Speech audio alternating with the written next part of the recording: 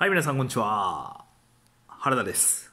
えー、4月30日木曜日、4月ラストデイですけれども、皆さん今日はどんな一日でしたか？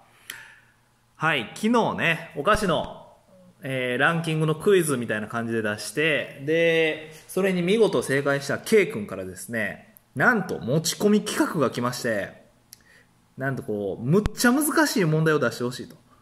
で、さらに、正解聞いたら、あーってみんながわかるような、そういう問題を出してほしいと。そして、正解した暁には、プレゼントよこせと。そんな内容だったんですけれども、もちろんね、そんな無茶な内容に関しては全然 OK です。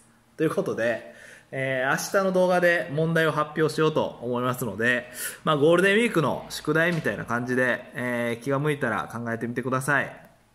むっちゃむずいで。以上です。